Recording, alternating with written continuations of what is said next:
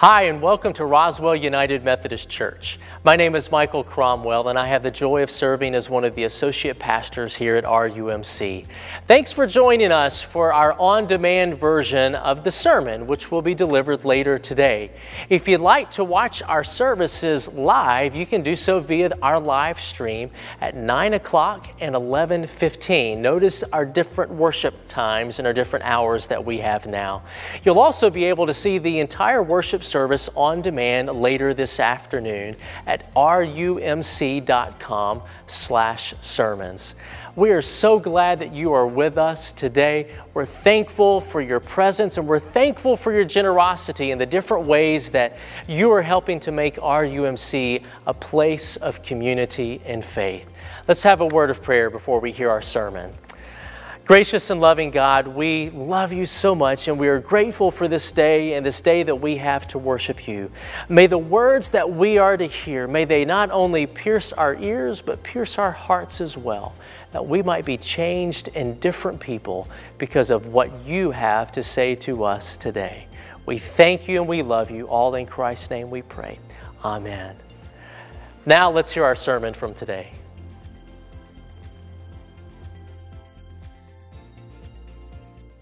This morning I'll be reading from Matthew chapter 16, verses 13 through 18, and this is what it says.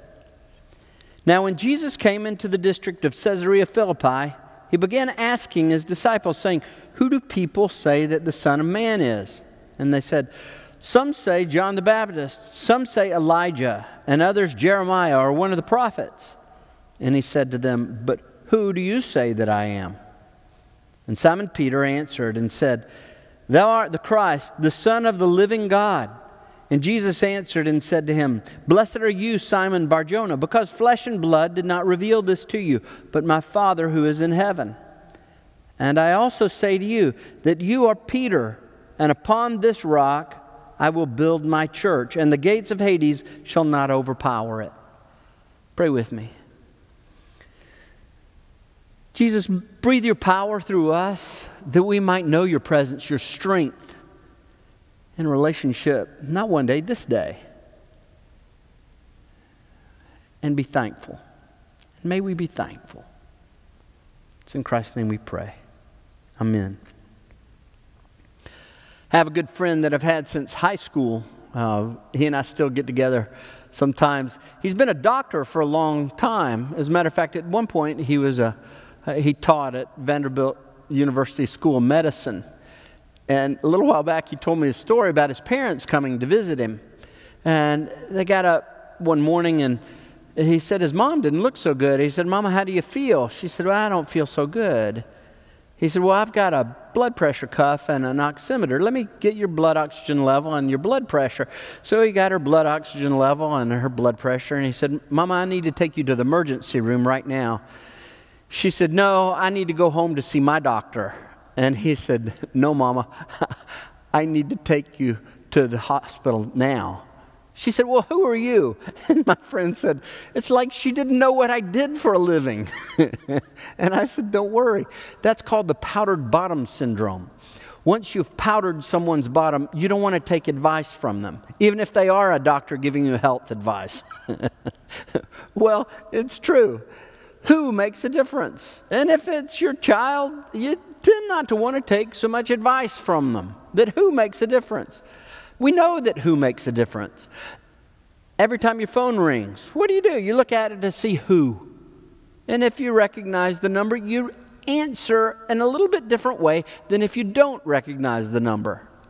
This past week, I called someone, didn't recognize the number, and it was obvious they thought I was going to sell them an extended warranty. I could tell from the tone of voice who makes all the difference in the world. Who God is. Oh, it doesn't make a little difference. It makes all the difference in the world in the way that we pray. It makes a difference in how we pray.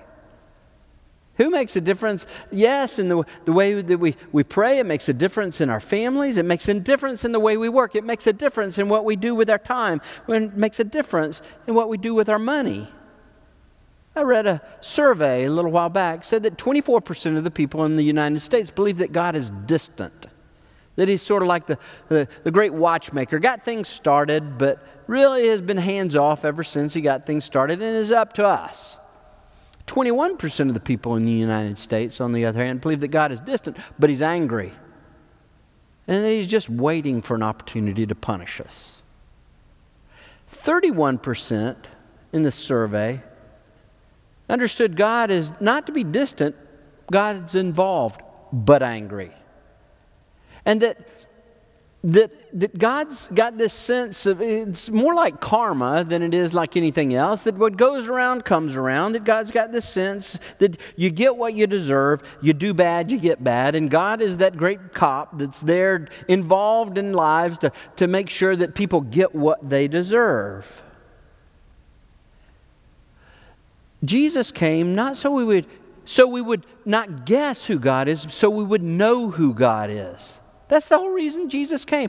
Hebrews chapter 1, verse 3 says that Jesus is the radiance of God's glory, the exact representation of his nature. So we look to the scripture to see who Jesus is showing us the, the, the, the, nature of God, who God is, because who makes all the difference in the world? And what we see from reading scripture as God speaks to us and reveals himself to us in the life of Jesus Christ, that Jesus is God who seeks people to help. And that's the first thing that I want to talk about this morning. Jesus is God who seeks people to help. Bartimaeus, the blind man, he sought him and saw him beside the road. Zacchaeus, Jesus spoke to him when he was up a tree.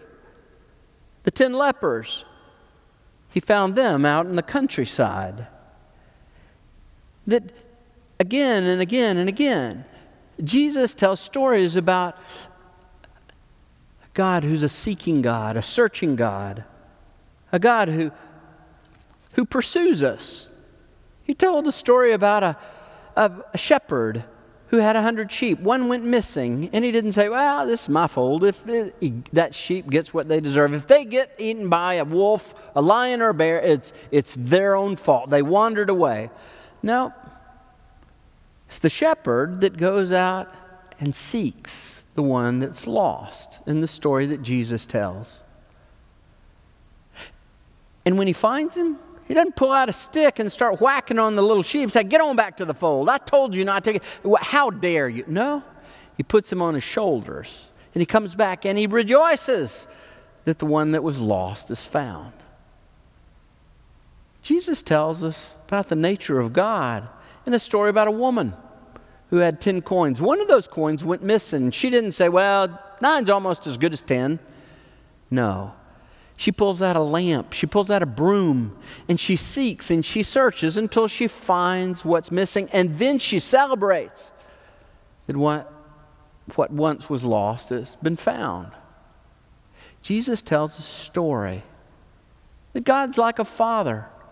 Father who, who had a son, and that son took his portion of the inheritance and he went to a distant country and he squandered it on loose living.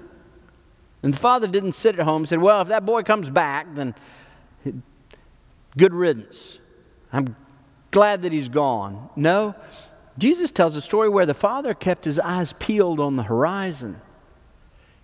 And in the words of Jesus, he says, while the, the boy was still a long way off, he saw him he ran and embraced and kissed him. Maybe the most beautiful verse in the Bible. While he was still a long way off, he saw him and he ran and embraced and kissed him.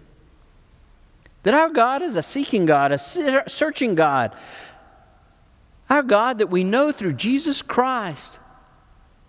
Not from a, just a good example or not just an ethical teaching, but the Word made flesh who, who, who dwelt among us and He lives among us today. That He lives His life through His church, the hands and feet of Christ. That when we know who He is, then, well, like right here, we know that we are the church. And the word literally means to be called out. To be called out. Out into a world that needs to know who, who God is, a world that's longing to hear good news. In church, you're the ones to tell them. You're the ones to show them. You are the hands and feet of Christ in the world today. The living Christ, alive in you and me. That Jesus Christ is God who seeks people to help. That Jesus is God who seeks problems to solve. And that's the second thing that I want to talk about this morning. The Gospel of John starts off with, with giving the basics. It's kind of a theological basis of, of, of who Jesus is that he's the Word made flesh. The Word that was in the beginning with God and the Word that was God, that He became flesh and He dwelt among us. But the very first story, the first story is about Jesus, the Word made flesh, at a wedding in Cana of Galilee. It's John chapter 2. Then his mother comes to him and she brings him a problem. She doesn't give an explanation, she doesn't give the details, she sure doesn't give him a solution or a directive about how he might solve the problem, she brings to him a problem. She said, They have no more wine. Now, in the scale of things, uh, you know, if you're weighing out, you know, world hunger, it's, it's not that big a deal. But because people matter to God, it's a big deal. It's a big deal to Jesus. And he steps in and he, he tells the servants, fill the water pots with water. Well, most of the time we think of a pot, you know, we think of something about like, like that, or maybe a really big pot, a little bigger. But these were pots, stone pots, made for purification. And Scripture tells us they held 20 to 30 gallons each. There were six of them, a minimum of 120 gallons. And when the servants got them filled, it says to the brim, he said, Now take it to the head waiter. And they, they took some to the head waiter, and the water had become wine. Well, the problem Jesus doesn't solve with just enough wine to scoot by, just enough to, to, to squeak through the problem. It's an, a, a gracious plenty, a superabundance. That our God is a gracious God. Our God is a gracious God that pays attention and seeks problems problems to solve. Problems in the everyday in the ordinary. Problems that are, that are yours and, and mine and theirs. A couple of weeks ago a member of our church gave me a call told me a story that had happened to her that day. Lane Hughes called me. I love stories, and I love it when people share their stories with me. She said she was putting gas in her car, and that uh, a fellow saw the, the, the magnetic sticker on her car. It said Roswell United Methodist Church. And he came up to her and said, Do you go to that church? She said, Yes, I do. He said, Your church kept me from starving during COVID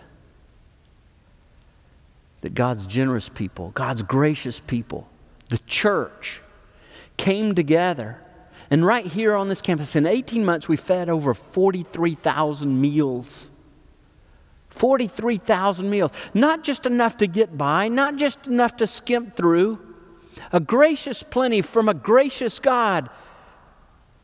And there's a world out there that is longing to hear good news. We've heard enough bad news. Good news that Jesus Christ is alive and he lives through his church. That we served over 1,600 pounds of fresh produce grown in our own church garden. That every week, over 40 meetings were here for 12 step groups. Not just enough to squeak by, but God's people letting this, this world know that our God is a generous God and He seeks problems to solve. And, church, He uses you and me to do it.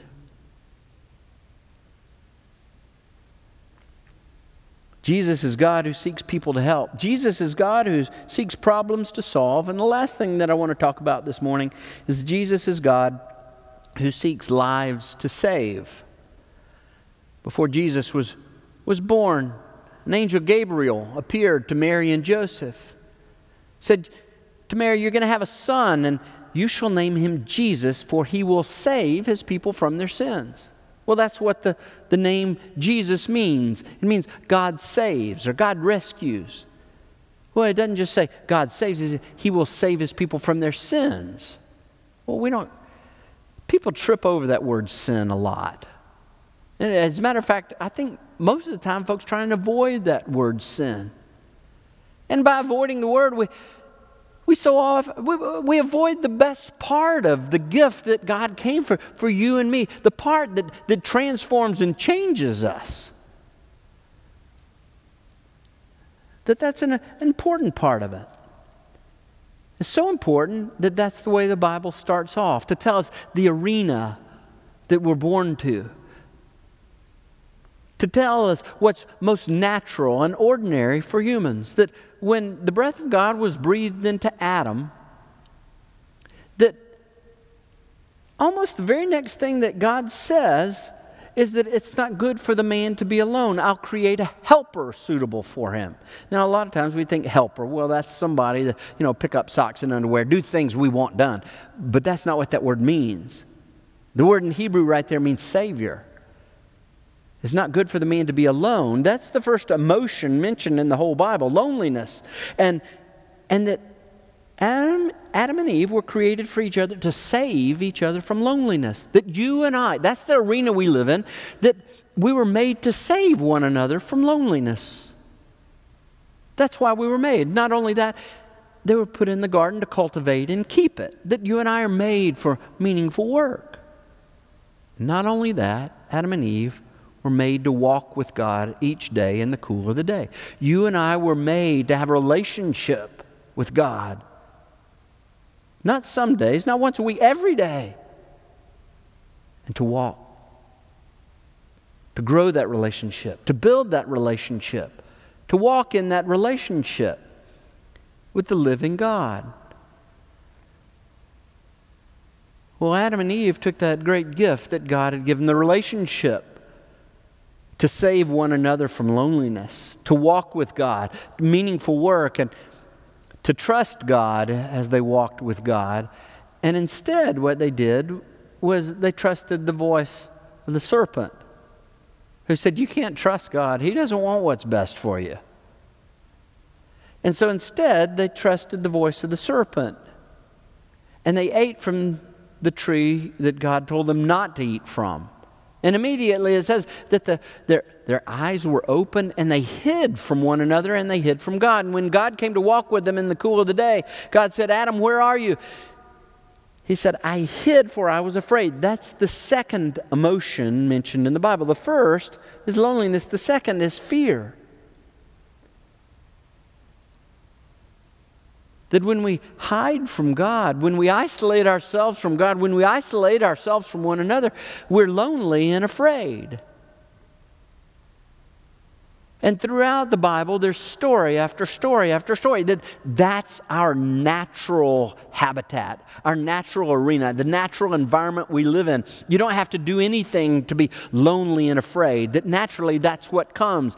That naturally we tend to think that we can trust ourselves and not God. There's a pride that says we know better.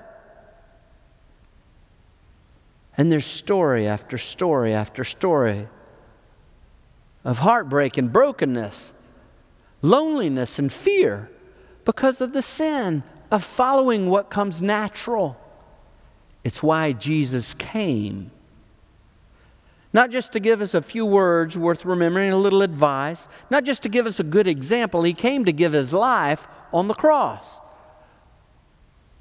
For you and for me, he took on himself all the fear, all the loneliness, all the sin, all the pride, all those things that would destroy us, and he nailed it to the cross to take away its power once and for all. And he rose from the grave to live his life through you and through me. And together, he would live through us as the church, the church, the people who are called out to be his people in the world and we would know his forgiveness. Forgiveness. Who doesn't need forgiveness? I know I need forgiveness. And the world, there's a world out there that needs to know that forgiveness as well. It's a forgiveness that Jesus gave freely to you and to me, and we don't have to wrestle it from his hand. But the strange thing is, is we don't receive it unless we ask. It's not because God's not willing to give it, it's that we're not willing to receive it until we ask, until we repent, until we turn. And we turn toward Him and begin to lean on Him and trust Him. Oh, this is, a, this is the message that the, the world is longing to hear this message of forgiveness. And so the church so you and me. So you and me. To let the church, the, the world know that Jesus is the God who, who seeks lives to save. Jesus is the God who seeks problems to solve. That Jesus is God who, who seeks people to help. And He uses you and me to do it.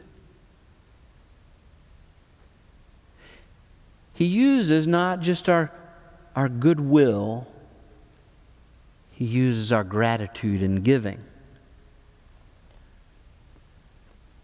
This is our Giving Sunday, where we look to take the next step, to give with a generous heart to God through the church, through Roswell United Methodist Church, that in this coming year, we might reach out into a world that needs to know who Jesus is. Not because of guilt, not under compulsion, but out of a generous heart. There on our website is a, is a button. It, said, it says Pledge 2022. And I want to invite you to make a commitment, a commitment to God for this coming year. What you might give to His church. That it, it transforms who we are and it's used to transform the world. Or it may be that you got a card like this one and you can fill it out and start. Start with putting your name on it. A name to pledge, a name to respond to an invitation. Your name that says, This is what I'll do. This is the next step I'll take. Because there's a world out there that's longing to hear good news. Good news that Jesus is God. Pray with me. Jesus, this day, give us the ears to hear that good news, and Jesus, give us the voices, the hands, the feet, the hearts to put it into motion, the next step, to reach out into a world that needs to know you, that's longing to, to know you, to know the who, who you are. May it start this day and go into the days to come. Just in Christ's name we pray. Amen. Thanks again for joining us today. Um, just a reminder, if you'd like to watch the entire worship service, you can do so via live stream at 9 o'clock and 11.15 a.m. You can also view the service on demand a little bit later this afternoon at rumc.com slash sermons. Also, if you have any prayer requests, we would love to hear about those. You can send those in to pray at rumc.com. Also, if you'd like to give of your tithes and your offerings, you can do that online as well. And that's at rumc.com slash giving. Uh, thanks again for joining us today and for honoring God with your presence. We hope and pray that you have a wonderful week, and we look forward to seeing you again next week.